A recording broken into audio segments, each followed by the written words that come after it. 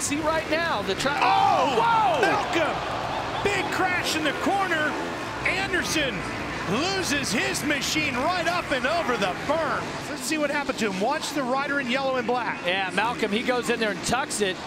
And then Millsaps, he gets hit, and it looks like he, he was might have had his left hand pulled off of the clutch and just lets the clutch go. Yeah, he leans over. You can see Malcolm leans over to make the corner. And then something happens with Anderson. I don't know, pulled the clutch in, then releases it with it a just pulled his throttle. hand off.